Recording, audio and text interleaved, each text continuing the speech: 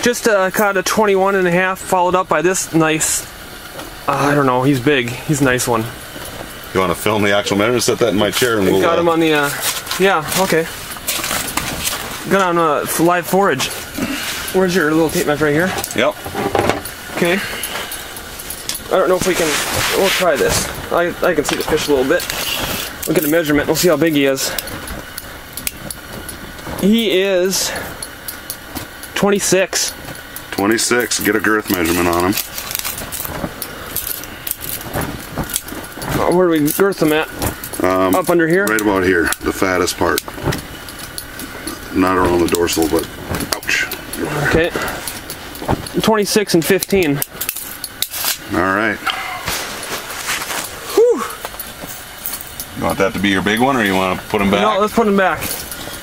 There you go, folks. 28 or. They got these lesions on them, but uh, it's totally normal, I guess, in this in these Yeah. waters. I guess they bleed from, I don't know.